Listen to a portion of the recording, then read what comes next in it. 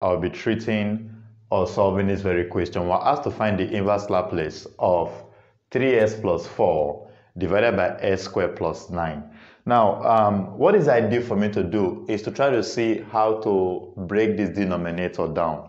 But looking at this, there's no way you can express this in partial fraction. It's already in its simplest form.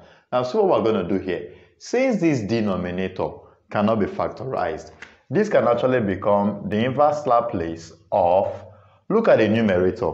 Remember in, um, what's it called? In algebra, if you have a plus b over c, this can actually be rewritten as a over c plus b over c.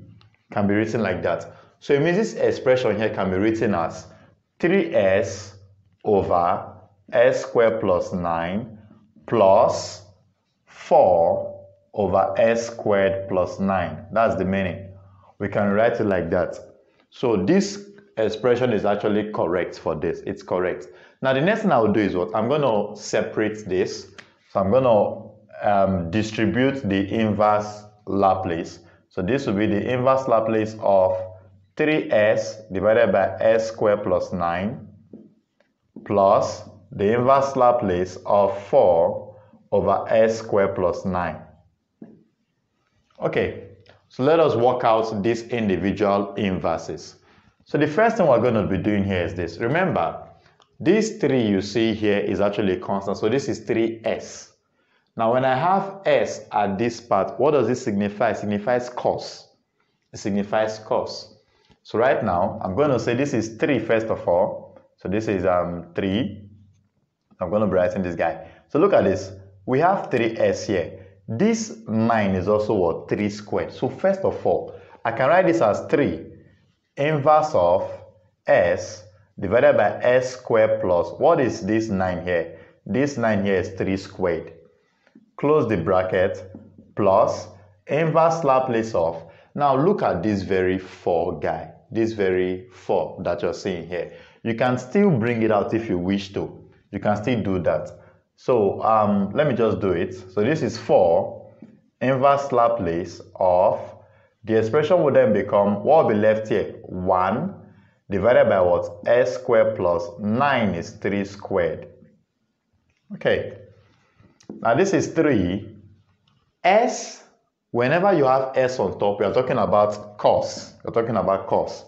Now this 3 squared signifies that my a is what 3. So this is cos 3 t. That's cos 3t, so this is correct. Plus 4. Now, I think this part would pose a little bit of um, issue for us. Now, if you have a constant on top and not s, if you have a constant on top and not s, you're talking about sine. Now, the Laplace transform of sine at is equal a over s squared plus a squared. Already, our a here is what? 3. If you compare this, your a is what? 3. But if this will be going by sine, this number on top, this one here, ought to also have what? The same a, which is what? 3. So the question you'll be asking yourself is, how can we put 3 to be at this very place? It's a very simple thing. Now, can somebody come here and say, this is the, okay, I'll write this as, I can put 3 here, all over 3 brackets s squared plus 3 squared. Can I do that? Yes, I can do that because 3 can cancel 3 to give me 1. So I didn't change anything. Nothing has been changed. Nothing has been changed. So I can just put 1 times 3. Nothing has been changed because 3 can cancel 3 at the end of the day. Okay.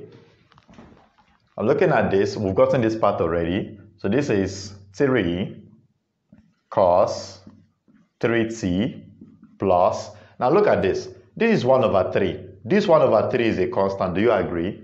Well, this 1 over 3 is a constant. When it comes aside, what would it become? So this is now 4 over 3. Inverse Laplace of what will be left here?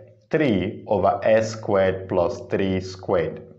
What is this looking like right now? It's now looking like sine at because we have a number divided by s squared plus that number squared. So we have 3 over s squared plus 3 squared. Final answer for this is 3 cos 3t plus 4 all over 3 sine 3t. So this will be the final answer to the question.